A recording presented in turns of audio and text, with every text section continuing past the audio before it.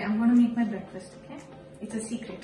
As in, now it's not gonna be a secret, but uh, I want to show it to you guys.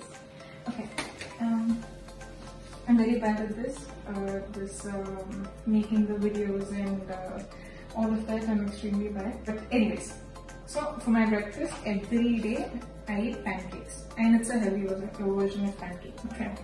One small banana or half of one big banana. Two eggs one whole and one of half. Half in the sense white.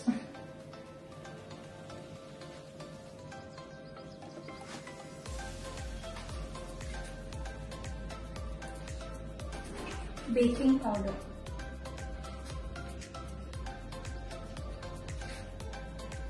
Cinnamon powder.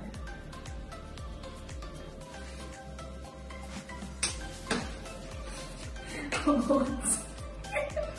like to put protein powder in mine because it's chocolatey butter. So, and